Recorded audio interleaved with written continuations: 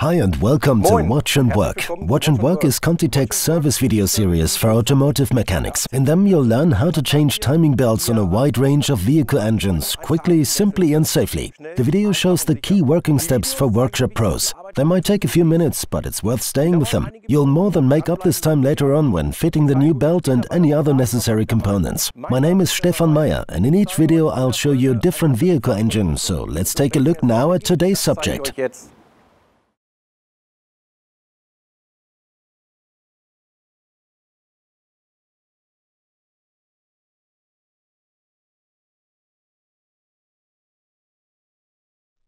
Today I'm going to show you how to change the belt on a Ford Fiesta model year 2004 with engine code FXJA. Für einen Riemenwechsel benötigen wir unser Wasser. To change the belt, we need our CT881 WP1 water pump kit and our Toolbox VO4.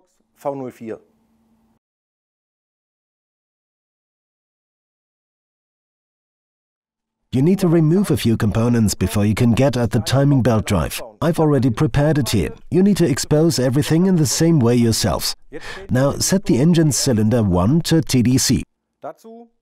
For this, we need to remove the bolt at the bottom on the crankshaft and screw the locking tool in there. Since you have positioned the engine just before TDC, you have to then turn the crankshaft further once you've screwed the tool in until it contacts the tool. The second step is to lock the camshaft. Since there is no keyway on the crankshaft sprocket, please determine the TDC of cylinder 1 via the valve position. The engine is now set correctly. The next step is to release the tension on the timing belt. For this, push the tensioning pulley upwards until you can insert the locking pin. The timing belt is now off. Time to change a number of components. Please change the two central bolts on the camshafts. You'll find them in the new kit. It's vital to use the counterhold while you do so. Okay, you've replaced the two bolts.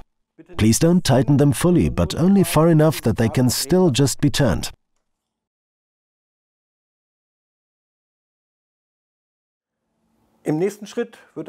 Next, fit the belt. To do so, you start at the crankshaft sprocket and continue counterclockwise around the camshaft sprockets to the tensioning pulley.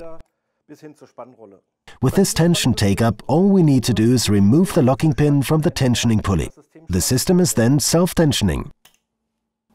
Nachdem ihr den Once you've tensioned the belt, you need to tighten the two camshaft bolts to a torque of 60 Newton meters.